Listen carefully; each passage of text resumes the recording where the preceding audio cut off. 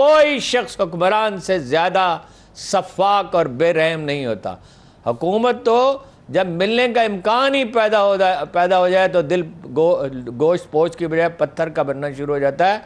या मरियम हैंडल हो जाएँगी और उनके वालद ग्रामी हो जाएँगे।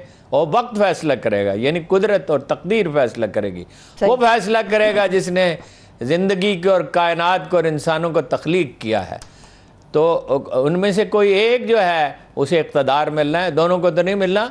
और पहली बात तो यह है कि ये कौन कह सकता है कि इमरान खान इलेक्शन नहीं जीत जाएँगे? ये तो जब सिचुएशन आएगी अगर ओवरसीज पाकिस्तानी के वोट रजिस्टर्ड हो जाते हैं हम्म। और वो वोट डाल डालने के लिए तैयार हो जाते हैं और अगले एक साल में अगर फ़र्ज़ कीजिए ये तो देखिए ना हालात पे होता है कुछ डिलीवर करने में ये कोई कह सकता था कि इकतदी तरक्की की रफ्तार चार फ़ीसद हो जाएगी। किसी के गुमान में भी था लेकिन हालात मैं आपसे हमेशा कहता हूँ असल चीज़ सिचुएशन होती है। वो जो अवामल तकदीर पैदा करती है उसमें से बाज़ को हम पढ़ सकते हैं बाज़ को नहीं पढ़ सकते। ये कौन कह सकता है कि इमरान खान नहीं जी, जीत सकेगा?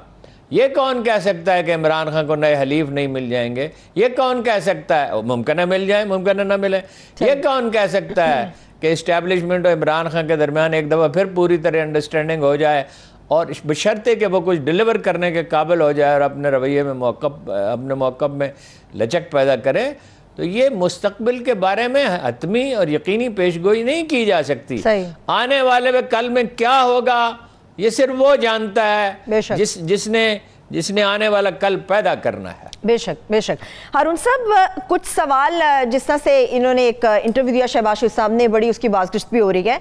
आ, कुछ सवाल उठाए हैं। उन्होंने भी नैब की कारकर्दगी से मुतालिक कि जो भी इल्ज़ाम लगाए गए जो भी केसेस बनाए गए वो सब हाईकोर्ट की तरफ़ से कहा गया कि बिला जवाज हैं झूठे साबित हुए छप्पन कंपनियों का मामला कहाँ गया एक धेले की करप्शन नहीं निकली। ये तो अपोजिशन का मौकफ है। इमरान खान साहब के अपने वजरा नैब के एहतसाब के ऊपर सवाल उठा रहे हैं। तो ये तो फिर एक और मामला शुरू हो जाएगा नैब को लेकर। करप्शन तो मैं, करप्शन तो हमेशा मैं आपसे कहता हूँ, न नवाज़ शरीफ ने किया न शहबाज ने की, ना हमजा ने की, ना सुलेमान ने की, न जरदारी ने की न फरियाल ने की, न राजा रेंटल साहब ने, किसी ने कोई करप्शन नहीं की। करप्शन किया मैंने और आपने। ये जो हमारे कैमरा मैन है, इन्होंने। ये जो हमारे दफ्तर में दो तीन सौ आदमी काम करते हैं, इन्होंने किए हैं। और करप्शन की है आम मजदूर और किसान है। इन्होंने करप्शन तो कभी की ही नहीं। और उसकी एक वजह है, उसी की वजह से पाकिस्तान का अदालती निज़ाम एक सौ बीसवें नंबर पर है ना। कौन सी पाकिस्तान की अदालत है? ख़ासतौर पर निचली अदालत है, जहाँ इंसाफ की तो की जा सकती है।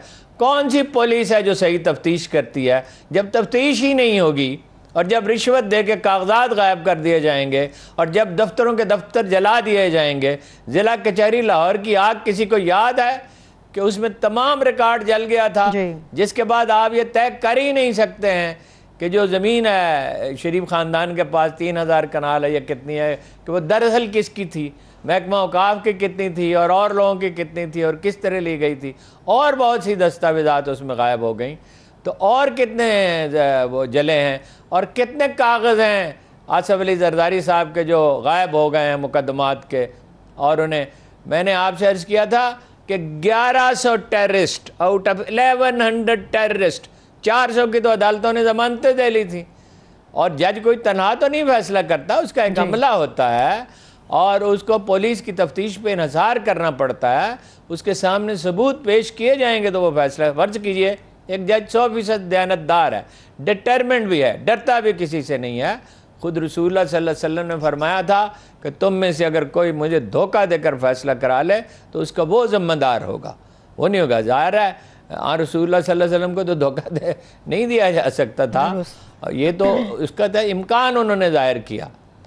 लेकिन ये एक असूल उन्होंने बयान किया कि धोखा दे के फैसला कराया जा सकता है। और तारीख़ में इसकी एक आद नहीं दर्जनों मिसालें हैं बाद में फ़ैसले बदलने पड़ते हैं। ख़ुद हमारे हैं उसकी मिसालें हैं। तो उसका क्या कहा जा सकता है? इस बारे में तो कोई हतमी राय नहीं दी जा सही है, ठीक है। लेकिन हारून साहब, आपने जो प्रॉपर्टीज़ के हवाले से बात की है शहबाशी साहब कहते हैं कि सियासत में कदम रखने से पहले हमारे वालिद की फैक्ट्रीज थी, हमारे पास पैसा था, हमारे पास प्रॉपर्टी थी। तो इस किस्म का सवाल करना कि इकतदार में भी थे आप लोग, आप लोगों ने कारोबार किया प्रॉपर्टी बनाई तो ये सवाल पूछना ही नाजायज़ है। नहीं शहबाज शरीफ साहब ने जो दरअसल जो फ़िक्र कहा था ये तो उन्होंने अब कहा उन्होंने कहा मैं गरीब बाप का बेटा मुझे इस पर फख्र है। और सैयद आबदा हुसैन मौजूद हैं इसी प्रोग्राम के दरमियान उन्होंने फ़ोन करके पूछ लें कि क्या उनकी ज़मीन पर ट्यूबवेल लगाने के लिए मैं शरीफ साहब मरहूम मकफूर ख़ुद तशरीफ़ नहीं ले गए थे? और क्या उन्होंने इन अल्फाज में अपना तारफ़ नहीं कराया था कि मेरा नाम मिस्तर शरीफ है? तो अरबपति वो कब थे? दूसरा दूसरी बात यह है कि दुनिया में वो कौन सा मुल्क है? सवाए वहाँ जहाँ बादशाहते हैं और अवाम को हक हुक्मरानी में अवाम का कोई हिस्सा नहीं है। कौन सा हुक्मरान है जिसे कारोबार करने की इजाज़त है? हुक्मरान अगर कारोबार करे तो फिर उसके लिए कानून बना देना चाहिए। थाने में रेस्टोरेंट खुलने चाहिए थाने में कपड़े की दुकान होनी चाहिए थाने में दूसरे कारोबार होने चाहिए और तहसीलदार का भी इसी तरह होना कारोबार होना चाहिए डिप्टी कमिश्नर का भी होना चाहिए।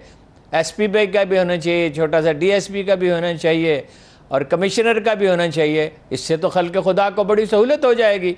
अगर वज़ी अजम कारोबार कर सकता है तो वज़ी अला को भी इजाज़त होनी चाहिए, वजरा का भी होनी चाहिए। अरकान बल्कि उनके लिए मराहत का ऐलान करना चाहिए।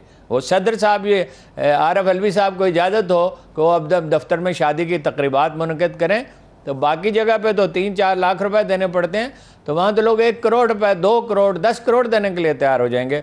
तो बड़ी आमदन हो जाएगी और उससे बड़े मुल्क की मीशत जो है वो चल पड़ेगी।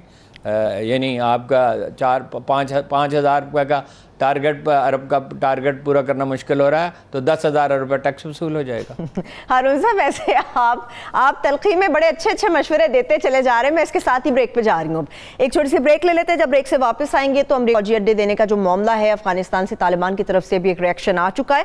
अब अफ़गानिस्तान में चूँकि अमन के हवाले से बात की जाती है, मगर ये जो कश्मकश ऐसा महसूस होता है, आखिरी मरहले में चली गई है, दाखिल हो चुकी है। इसके कॉन्सिक्वेंसिस क्या होंगे, असल मामला क्या है इसके ऊपर तफसील से बात करेंगे, हमारे साथ रहिए।